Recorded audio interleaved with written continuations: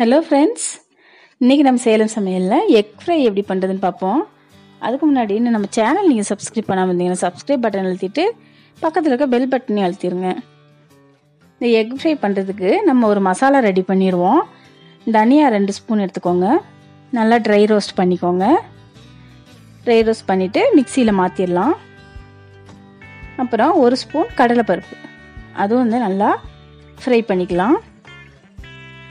இந்த மசாலா வந்து ரெடி பண்ணி நீங்கள் எக் ஃப்ரை பண்ணிங்கன்னா உங்களுக்கு தந்தூரியன் டேஸ்ட் வரும். அதனால தான் இந்த மாதிரி மசாலா ரெடி பண்ணுறேன் நான்.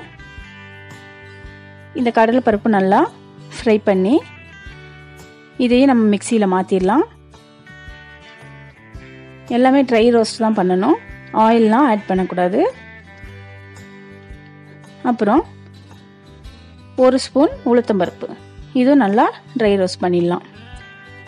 இந்த மசாலா கொஞ்சம் அதிகமாக பண்ணி நீங்கள் எடுத்து வச்சுக்கிட்டிங்கன்னா அப்பப்போ நீங்கள் எக் ஃப்ரைக்கு யூஸ் பண்ணிக்கலாம். இப்போது நாலுலேருந்து அஞ்சு காஞ்ச மிளகா. இதுவும் நல்லா ஃப்ரை பண்ணிவிட்டு மிக்சியில் மாற்றிடலாம் ஒரு ஸ்பூன் ஜீரகம். இதெல்லாம் நல்லா ஒரு பொன்னிறமாக வறுத்துக்கோங்க. இப்போ இதெல்லாம் மிக்சியில் மாற்றியாச்சு இப்போ ரெண்டுலேருந்து ஒரு அஞ்சாறு மிளகு. ஒரு ஸ்பூன் மஞ்சள் தூள். அப்புறம் கரம் மசாலா ஒரு ஸ்பூன் அப்புறம் உப்பு தேவையான அளவு. கல் உப்பு போட்டுக்கோங்க. இது வந்து நல்லா இந்த மாதிரி பொடி பண்ணி எடுத்து வச்சுக்கோங்க. இப்போ நம்ம எக்கு வேக வச்சு எடுத்து வச்சுருக்கிறேன். இந்த எக்கு வந்து சென்டரில் கட் பண்ணோம் ஓரமாக கட் பண்ணிங்கன்னா ஒரு சைடு உடஞ்சிரும். இந்த மாதிரி எல்லா எக்கையும் சென்டரில் கட் பண்ணி வச்சுக்கோங்க. இப்போமா ஒரு பேன் எடுத்துக்கோங்க. அதில் கொஞ்சமாக ஆயில் விட்டுட்டு ஆயில் நல்லா காஞ்சதும் நம்ம கட் பண்ணி வச்சுருக்க எக்கெல்லாம் அதில் சேர்த்துடலாம். இது வந்து நல்லா சிம்லேயே வச்சு நல்லா ஃப்ரை பண்ணிக்கோங்க. ஒரு லைட் கோல்டன் ப்ரௌன் கலர் வரும். அது வரைக்கும் நல்லா ஃப்ரை பண்ணிக்கோங்க.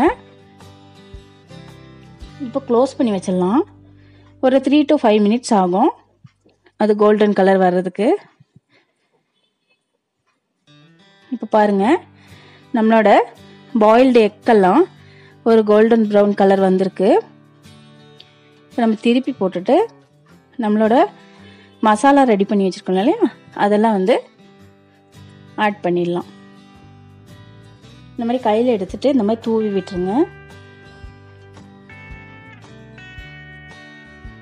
எல்லா எக்லையும் நல்லா சேர்ற மாதிரி மசாலாவை தூவி விட்டுருங்க.